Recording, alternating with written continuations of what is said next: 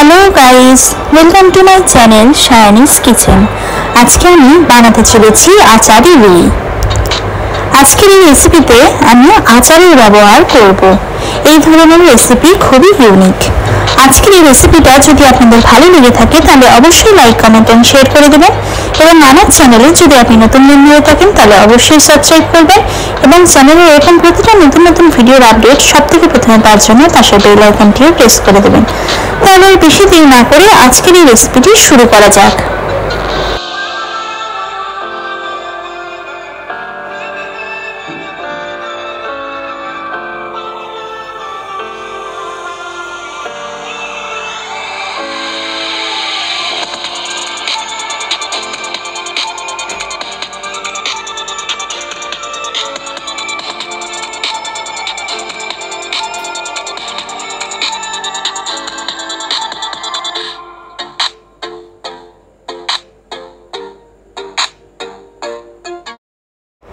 আচারি রুই বানানোর জন্য আমি প্রথমে এখানে রুই মাছ এইভাবে পিস করে নিয়েছি। খুব ভালো করে ধুয়ে পরিষ্কার করে নিয়েছি। এবার আমি এতে ম্যারিনেট করে নেব। তার জন্য আমি প্রথমে এখানে দিয়ে দেব নুন। আমি পরিমাণ মতো নুন দিয়ে দিলাম। দিয়ে দিচ্ছি হলুদ গুঁড়ো। এবার আমি নুন আর হলুদ দিয়ে মাছগুলোকে ভালো করে ম্যারিনেট করে নেব।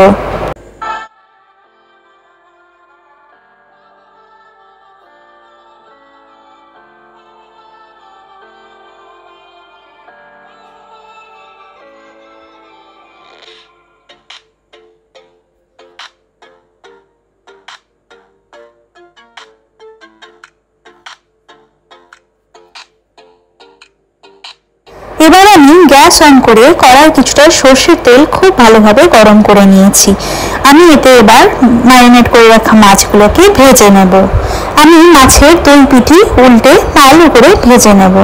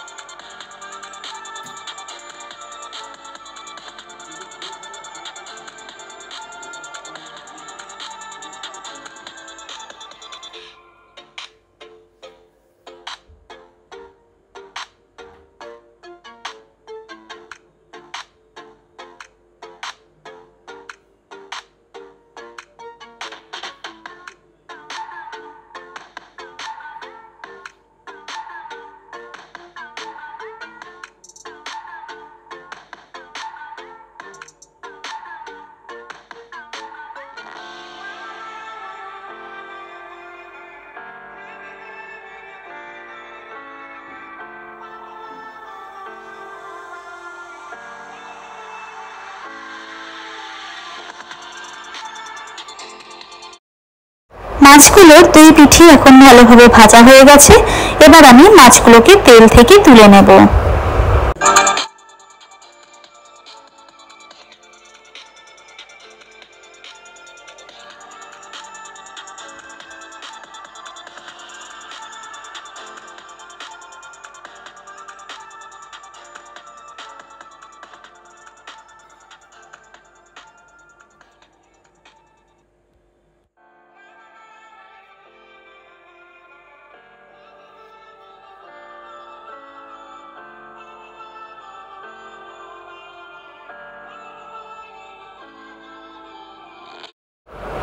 মাছ ভাজার পর কড়াইয়ের বাকি তেলে আমি দিয়ে দিচ্ছি একটু চিনি।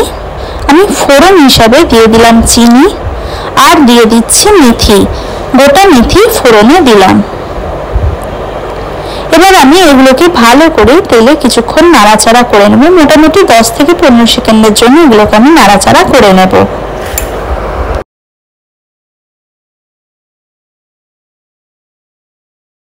এবার আমি এতে অ্যাড করে দিচ্ছি পেঁয়াজ কুচি।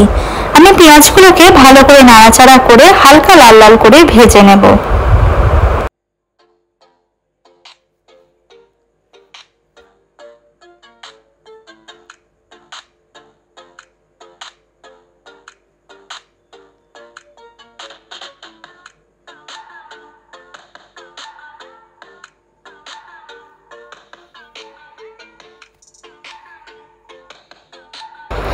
পেঁয়াজগুলো ভাজতে ভাজতেই আমি এতে দিয়ে দিচ্ছি পেঁয়াজ বাটা।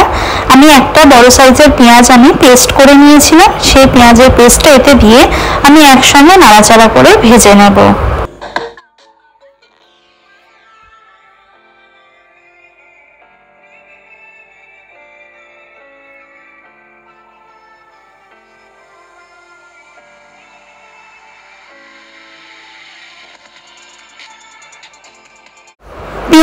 এখন ভেজে নেওয়া হয়ে গেছে। এবার আমি এতে দিয়ে দিলাম একটা ছোট এলাচ, তিনটে শুকনো লঙ্কা।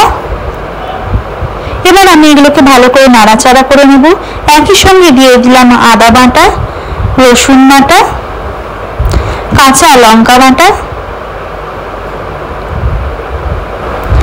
দিয়ে দিচ্ছি টমেটো পিউরি। আমি একটা বড় সাইজের টমেটো এখানে পেস্ট করে নিয়েছি। সেই টমেটো পিউরিটা ওতে দিয়ে দিলাম। এবার আমি এটাকে ভালো করে নাড়াচাড়া করে মিক্স করে আমি মশলাটা কিছুক্ষণ কষিয়ে নেব।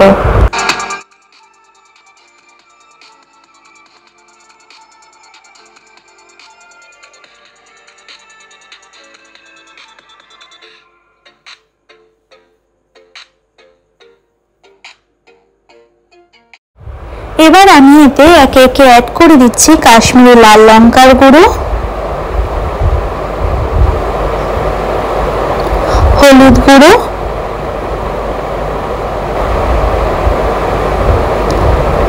স্বাদ মতন লবণ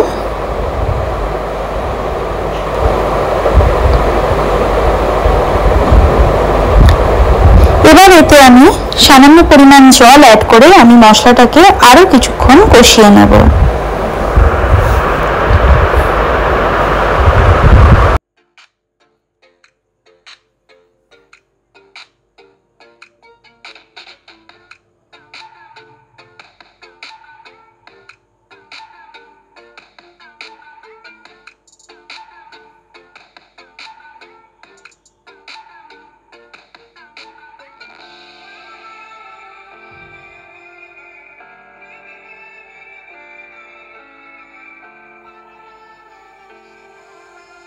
মশলাটা এখন কষিয়ে নেওয়া হয়ে গেছে। এবার আমি এতে অ্যাড করে দিচ্ছি আরও কিছুটা জল। আমি মিক্সি দেওয়া জলটা এতে অ্যাড করে দিলাম। আর বেশি এতে জল অ্যাড করার দরকার নেই। এবার এটা আমি নাড়াচাড়া করে ভালো করে মিক্স করে নিচ্ছি।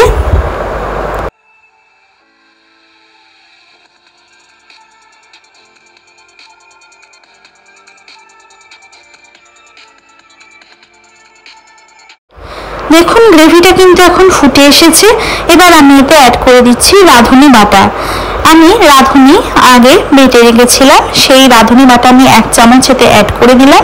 এবার আমি এটাকে নাড়াচাড়া করে মিক্স করে নিচ্ছি। দেখুন, গ্রেভিটা কিন্তু এখন ফুটে এসেছে।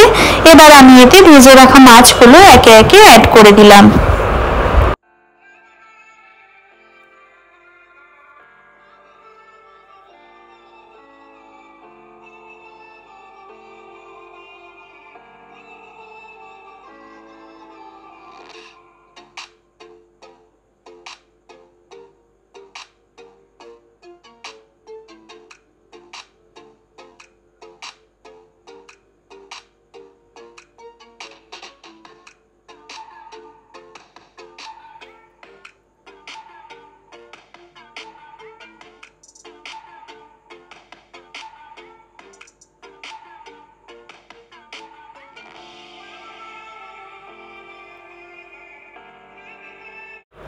এবার আমি এতে অ্যাড করে দেবো আচার আর জলের মিক্সচার আমি এমনি আচার একটু বাটিতে নিয়ে তাতে একটু জল দিয়ে আমি গুলে ভালো করে মিক্স করে নিয়েছিলাম, সেই আচারই আমি এতে অ্যাড করে দিলাম। এবার আমি এটাকে আরেকটু নাড়াচাড়া করে মিক্স করে নেব। সাবধানে নাড়তে হবে যেন মাছগুলো ভেঙে না যায়।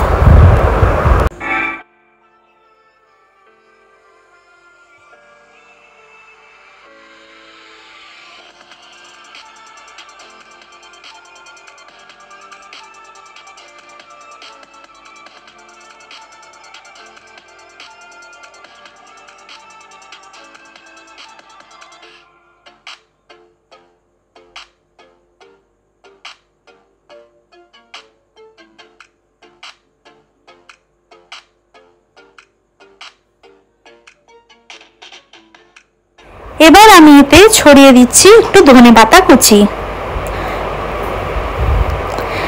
এখন এটাকে আর বেশি নাড়াচাড়া করার দরকার নেই। এবার আমি গ্যাসের ফ্লেমটা লো করে এটা ঢাকা দিয়ে মোটামুটি পাঁচ থেকে সাত মিনিট মতন এই রান্নাটা হতে দেব।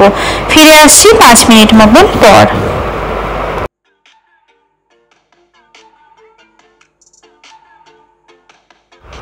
দেখুন, এখন কিন্তু রান্নাটা একদম রেডি হয়ে গেছে। খুব সুন্দর একটা গন্ধ বেরিয়েছে এবং ফ্লেভারটাও দারুণ এসছে।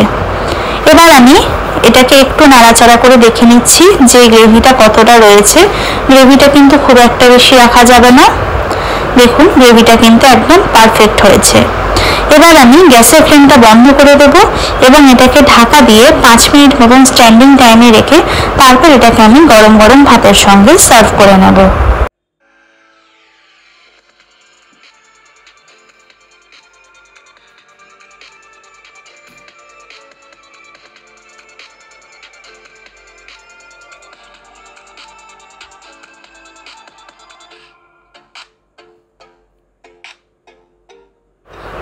আজকের এই সুন্দর রেসিপিটা আপনাদের কেমন লাগল আপনারা কিন্তু প্রত্যেকে অবশ্যই আমাকে কমেন্ট বক্সে কমেন্ট করে জানাবেন।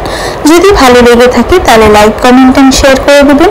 এবং আমার চ্যানেলে যদি আপনি নতুন বন্ধু হয়ে থাকেন তাহলে অবশ্যই সাবস্ক্রাইব করবেন এবং চ্যানেলে এরকম আরও নতুন নতুন ভিডিওর আপডেট সব থেকে প্রথমে পাওয়ার জন্য পাশে বেল আইকনটিও প্রেস করে দেবেন। সকলকে ধন্যবাদ, সুস্থ থাকবেন, ভালো থাকবেন, দেখা হচ্ছে পরের ভিডিওতে